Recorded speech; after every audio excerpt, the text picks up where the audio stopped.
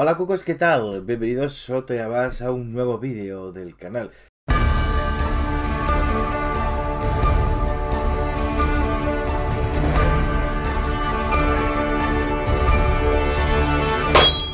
Bienvenidos a un nuevo vídeo aquí en el canal y hoy vamos a hablar de la Gamescom. Hoy os voy a resumir un poquito lo que fue la Gamescom. Os voy a contar mis impresiones, lo que más me gustó, lo que menos me gustó y todas estas cosas que ya hablamos. Pero para que no me tachéis de Nintendero, malparido, cabrón, hijo de puta, pues voy a hablar de todo en general y no voy a centrarme solo en Nintendo. Así que bueno, si estáis preparados, vamos allá. Bueno, lo primero que más me llamó la atención de esta Gamescom fue el Age of Empires 4. O sea, yo soy muy fanático del Age of Empires, sobre todo del 2, es el que más he jugado. De hecho, esos juegos me encantan, ¿no? Me fascinan, esos de estrategia. Me puedo pasar horas y horas jugando, sobre todo con amigos, ahí eh, a ver qué tal, a ver no sé qué, construir esas guerrillas, tal. O sea, son juegos que a mí personalmente me encantan. Me, me fascinan, ¿no? Ese tipo de juegos, los Age of Empires. Bueno, y que ahora se anunció el 4 para PC, sin duda es una. Es un BOOM ¡BOOM! Yo de hecho ese me lo voy a comprar de salida, valga lo que valga. ¿Por qué? Porque soy fanático de ese tipo de juegos. También jugaba Stronghold, aunque no son muy parecidos, pero también he jugado ese tipo de juegos. Me encanta StarCraft también, todos esos juegos, eh, los primeros World of Warcraft.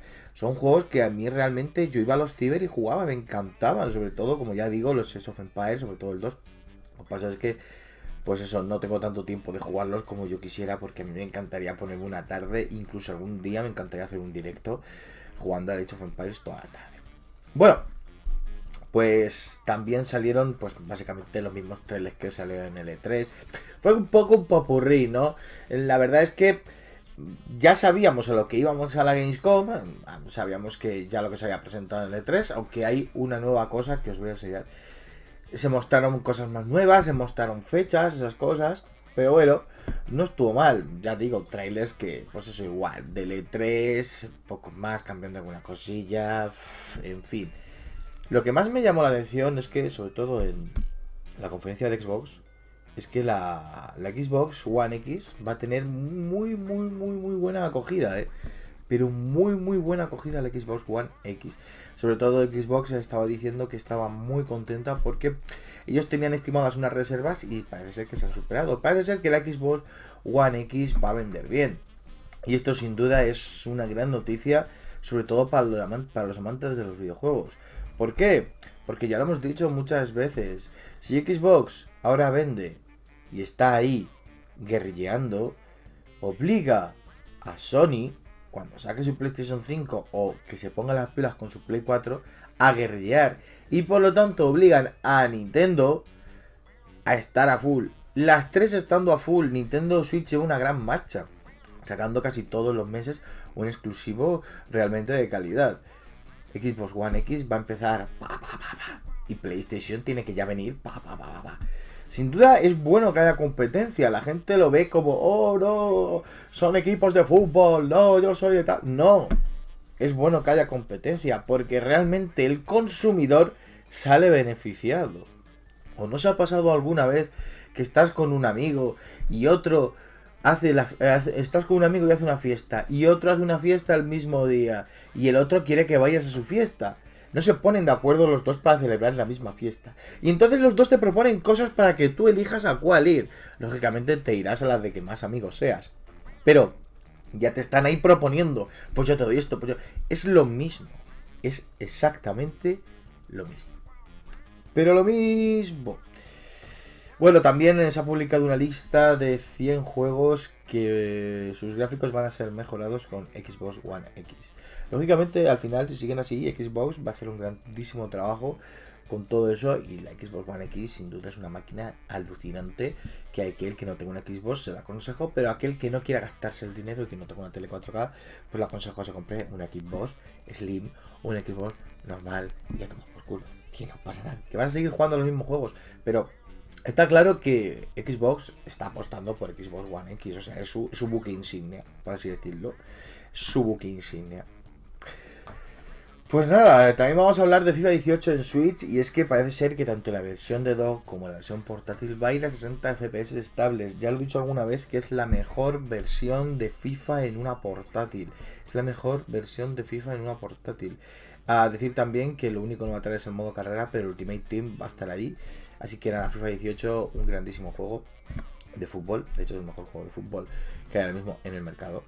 Y nada, a disfrutarlo, chicos, a disfrutarlo. Bueno, también sacaron varios gameplays, uno de Star Wars Battlefront bastante extendido, que la verdad es que a mí pues me gustó bastante, ya sabéis que soy fan de Star Wars, no tanto como mi amigo Mario, pero me gustó bastante, la verdad es que me gustó. Fecha de Fire Emblem Warriors en octubre, que ya tenemos la fecha, pues ya está, ya sabemos que en octubre vamos a tener el Fire Emblem Warriors, juego esperadísimo, como ya sabéis por mí que hice un vídeo. Luego mostraron un gameplay de Mario Odyssey, así como en un mundo de comida, que la verdad es que Mario sí está pintando muy bien, se llevó el mejor premio, el premio al mejor juego de la, de la Gamescom, y no es para menos porque este Mario está poniendo todo en un listón muy alto, o sea, están haciendo un trabajo increíble, el hype no puede estar más alto y las expectativas son más altas, y esperemos que sea un grandísimo Mario, de momento pinta muy bien todo, así que bueno, luego ya cuando tengamos el producto final valoramos si de verdad es el mejor juego del año o no, pero por todo lo que hemos visto, por todo lo que nos están mostrando, va a ser pues uno de los mejores juegos de plataformas de todos los tiempos, ah, sin lugar a dudas. Luego también mostraron, como no, el Metroid de Samus Returns. Mostraron un gameplay más extendido. Yo quiero hacer un inciso aquí, eh, porque se ve todo, todo increíble, ¿no? Es un juego en 2D con gráficos en 3D, el escenario, los, personajes todos en 3D y eso hace que sea un impacto visual increíble. Ya lo hicieron con Castlevania los Adult Mirror Fate, los de lo de Mercury Steam. Y la verdad es que para mí Mercury Steam tiene un mérito enorme, un mérito increíble, un juego que necesitaba un, remake, lo necesitaba el Metroid 2. Estaba ya muy desfasado, ¿no? Necesitaba ese remake. Y la verdad es que cómo lo han hecho cómo lo han hecho realmente es increíble. Para mí Mercury Steam son auténticos magos, son auténticos dioses. Ya lo hicieron con la, con la saga Castlevania. La resucitaron, la hicieron increíble. Y ahora vienen a por Metroid, con el Metroid Samus Returns. Lo están haciendo francamente, francamente bien. Han aprendido con esa experiencia en Castlevania, sobre todo en, en, en el Mirror Fate. Y la verdad es que, vamos, un juego con unas expectativas por aquí. O sea, ha cambiado toda mejor, va a ser un grandísimo juego. Y ese es el juego que puede acercar eh, la saga Metroid a la gente. Puede hacer que venda mucho, sobre todo con este movimiento que sabemos, Operation Samus Returns. Puede hacer que, que la gente le dé una oportunidad a Metroid y que Metroid suba. Si Fire Emblem lo pudo hacer, Metroid lo puede hacer. Es así, es fácil, es sencillo. Solo necesita el empuje, lo estamos viendo. Wii U no tuvo tanto movimiento como está teniendo Switch. Y Switch está triunfando. Vale, por las características de la consola. Pero está triunfando sobre todo por esa publicidad. Bueno, pues continuamos con el polémico trailer eh, de Semue 3. Esto también fue mostrado en la Gamescom. Y la verdad es que pobre Yu Suzuki, la que se le vino encima. Madre mía, todo el mundo. Ah, esos poser ahí. Ah, bueno, la verdad es que sinceramente hay mucha gente que no ha jugado a en su vida. Oh, Senmu 3, no sé qué es la polla.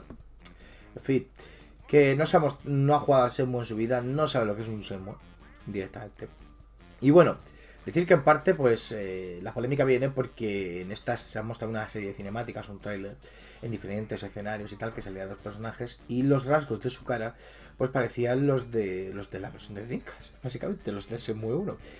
Y básicamente la gente se la ha echado encima por eso. Pero no, Suzuki dijo simplemente esto era una cosa que querían mostrar. El juego no va a ser así, no va a ser al final así. No sé por qué la gente le eche tanta mierda. Le han mostrado eso a los fans para que lo vean.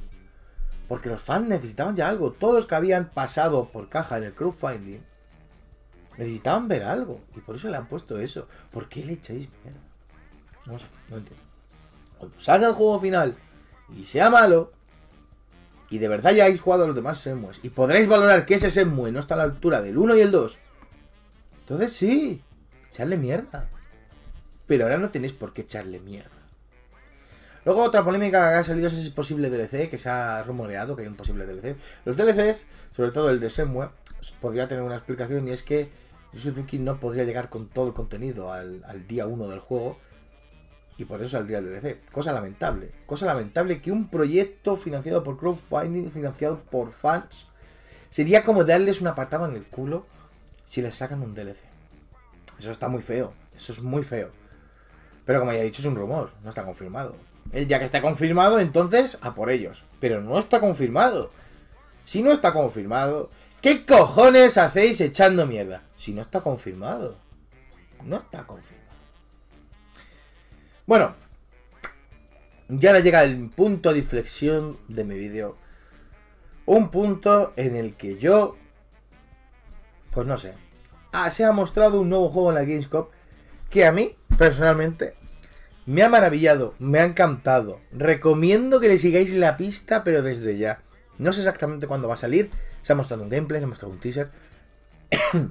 y la verdad es que, como digo, personalmente, en lo que personalmente se refiere, me parece un grandísimo juego.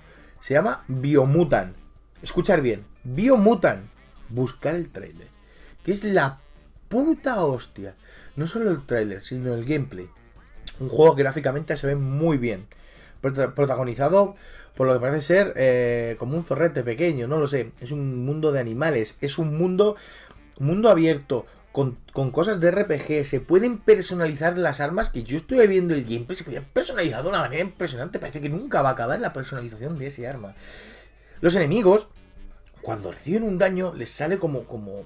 Vosotros veíais los cómics cuando le pegaban uno a otro, decía ¡Punch! No sé qué, como en Batman. Como en Batman. ¡Punch! No sé qué. O sea, todo eso. El narrador con esa voz así en inglés. Muy guapo, tío. Te puedes personalizar a tu personaje como quieras. Es un juego, un mundo abierto con una estética completamente nueva. Que eso rompe, tío. Que eso rompe. Que no es lo mismo que es un tío que tiene que salvar a no sé qué. No, tíos. No, tíos. El protagonista es un animal y tiene muy buena pinta. Os lo digo. Biomuta. Lo tenéis que seguir. Ese va a caer, pero de salida. Pero de salida cae ese juego. Es un juegazo. A mí, por lo que he visto, me ha encantado. Luego, pues no sé qué pasará. Parece ser que va a ser multiplataforma. Xbox One PlayStation 4 y PC. No lo sé. De momento creo que es multiplataforma. Y bueno, pues... Pues ya está, ¿no? Yo creo que... Que bueno, me quedaría... Seguramente me habré dejado algo. Pero bueno, el... También dijeron fecha del, Dragon Ball Fighter 2. No, Dragon Ball Fighter Z. Este juego ya sabéis en 2D de Dragon Ball, que parece ser el juego en 2D definitivo, que sé posiblemente que era que va a ser febrero de 2018. Por todo lo demás, ha sido una Gamescom, pues, como siempre, muy emocionante, muy buena. Lógicamente, que salga primero en la 3, pues le pasa un poco de factura, ¿no? Porque eh, los grandes lanzamientos quedan ahí. Y aquí simplemente se muestran cosas de esos grandes lanzamientos, aunque en parte también le, beneficia un poco. Grandísimo, grandísima Gamescom, me ha gustado muchísimo. Sobre todo esos, esos gameplays eh, de Mario Odyssey, ya digo, me han encantado. Biomutant, es lo que yo destacaría, lo que más me ha gustado de esta con el Biomutant. Porque lo otro ya sabía que iba a salir, ¿vale? Biomutant, HMP 4. Son lo que. Pero el Biomutant es lo que más me ha llamado la atención. El Biomutant. Así que nada. Espero que os haya gustado el vídeo. Si así no olvidéis dejar vuestro like. Abajo, por favor, dejadme vuestras impresiones sobre la Gamescom. ¿Os ha gustado? ¿No os ha gustado? Etcétera. Y nada más. Nos vemos en el siguiente vídeo. Adiós.